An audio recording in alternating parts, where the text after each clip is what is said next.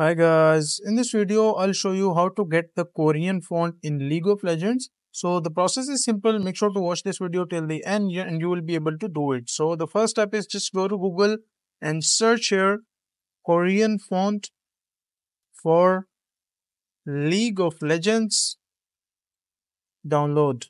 And once you write this statement, just press enter and after that you will be seeing this section like on the second or third or fourth page like this is the reddit how to get the korean font so just make sure to click on this link.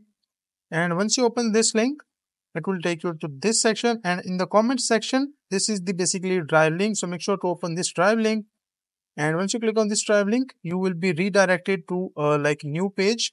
Here is the like basically the korean font. So make sure to download this one and once you download this one, it will take a few seconds. This is only a 26 or like 30 MBs file. So make sure to download this.